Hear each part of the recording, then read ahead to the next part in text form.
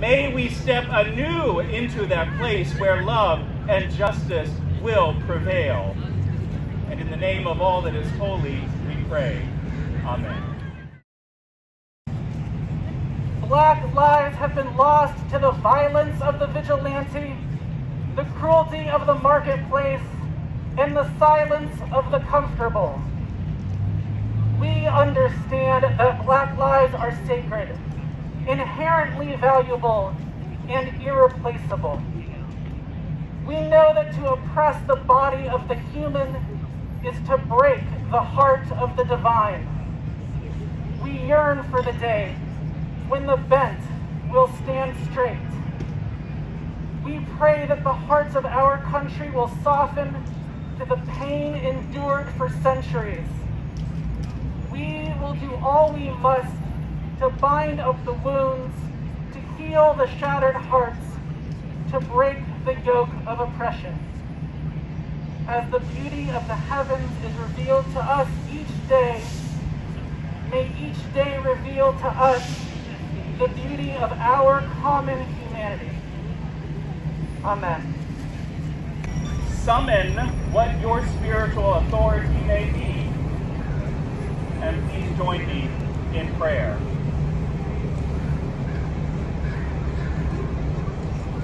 In the name of all that is holy, we see you and we know your name.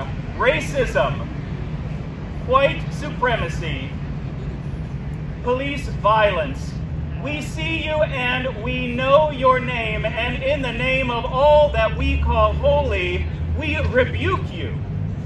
We also know that any power that you may hold is a pittance and barely anything to be weighed against the power of that which is holy. And in this moment, where we see you, we name you, and we rebuke you, we also say that your grasp on us is ended. The chains that you've placed upon the beloved children created in the image of love are fallen away. May we step anew into that place where love and justice will prevail. And in the name of all that is holy, we pray. Amen.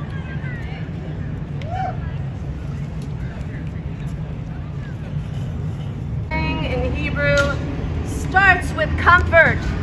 Yah is my shepherd, I shall not want, giving me repose in green meadows, leading me beside still waters to revive my spirit, guiding me on the right path, for that is Yah's essence. Though I walk through the valley of the shadow of death, I fear no harm, I fear no evil, for you are with me. Your staff and your rod comfort me. But then it changes to a psalm of power. You prepare a banquet for me in the presence of my foes. That means I am coming into my power. We are coming into our power. You anoint my head with oil and my cup overflows. Surely goodness and kindness will be my portion the days of my life, and I shall dwell in the house of Yah forever. A prayer that this psalm become truth, lived and embodied, that we mourn and we organize, and there will come a day when we all live in the house of Yah together. Fellow white Christians, the hour is upon us. It is time to wake up. The voice of Jesus is crying out through our black, brown, and indigenous siblings of color. Are you still asleep? We have been in grief and anguish, betrayed, enslaved, tortured, starved, diseased, robbed, jailed, lynched, raped, murdered, disappeared, terrorized over and over and over again on this land to this very day. Please wake up. Dear fellow white Christians, the hour is upon us to heed these words of Jesus, to get up and go to the garden. Go to the garden and let the of Black Lives pierce our souls. Go to the garden and fall prostrate on the ground in grief for what has been done and for what has been left undone. Go to the garden and wrestle with the painful truth that the betrayer is here and the betrayer is us. It is time to go.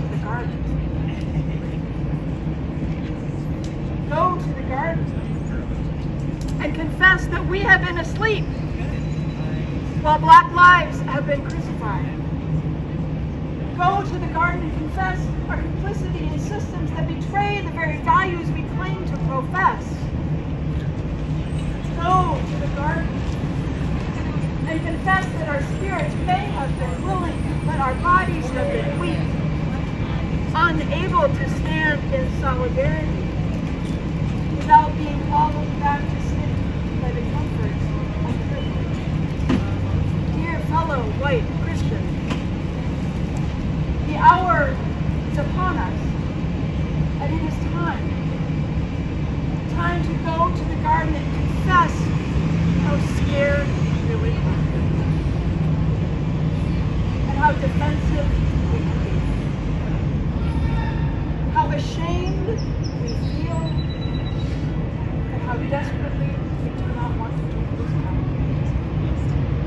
How ignorant we have been, and how unprepared we feel to meet this moment. But I tell you this the Holy Spirit is not concerned whether we are prepared or not. The hour is upon us. It is time to wake up, to get up and go to the garden. Go to the garden and surrender with Jesus.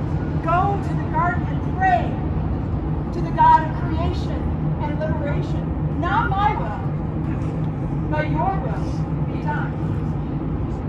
Go to the garden and pray to the Spirit of truth and justice. Not what I want, but what you want. Go to the garden and say to the power of love, through which all things are possible, I surrender my life and my privilege, my strengths and my weaknesses, my fears and my fragility. I place my entire life into your hands, no No matter the cost. So that your will, your will of justice and mercy and life abundant may be fulfilled for every single beloved child of God, no exceptions. Dear fellow white Christians, the hour is upon us. It is time to wake up. Get up. Let us be on our way. Amen. breaks down and builds up again, we need to be reborn. O teacher Jesus, who looted the temple, you knew that not all institutions can be reformed. Some of them have to be taken down until not one brick stands on another. Send the angel of death to slay the systems and institutions which drain and destroy our lives, not least an economy which sacrifices black and brown bodies on the altar of profit, and a culture which sacrifices our children on the altar of white supremacy. Burn them down, O consuming fire, and gather together a people who are led by thy Spirit to build new and equitable systems out of the rubble. Through Jesus Christ our Lord, who reigns with thee in the Holy Spirit, and all that is known and called holy, we pray these things. Amen. Juneteenth and seemed to communicate exhaustion over the sudden forced awareness of black culture, along with acknowledging his recent introduction to the concept of white fragility, he alluded to needing a moment to breathe. I understood his predicament and I appreciated his transparency, but the sentiment stuck with me. Do we really need a moment to breathe. Is this the moment for our white allies to feel overwhelmed? While the tear gas clears from our urban centers, breathing seems central to our current struggle. New Age proponents of mindfulness implore us to focus on every breath we take. Oftentimes that can seem ordinary or even prosaic, but in fact, moment to moment, it sustains our very lives. We know how George Floyd died. The world watched in horror as a powerfully built man called out for his dead mother's intervention. We watched in horror and we counted his breath. In a way, every black body has a counter on it, a counter of how many breaths it will take. In almost every case, it is too few. As we navigate impossible terrain and advocate alongside our non-black allies, we continue to assert the basic virtue of the right to breathe while recognizing the fleeting nature of that breath. And some of us do need to hold our breath, if just for a moment, as we breathe life into a new future. Who is to say that equality is impossible? Who is to say that equality might not supersede even equity as the goal on a new landscape of potential? As we head into the coming weeks, we can maintain the hope that racism is struggling with its last breaths. And remember that many of the struggles of this moment transcend race and ethnicity. On this day, we acknowledge the trickle-down justice that Juneteenth commemorates, and we hope for something more. I'm going to invite you now to die for the next 8 minutes and 46 seconds. As you are able to lie down, as you are able to feel yourself not in a position of power or of control.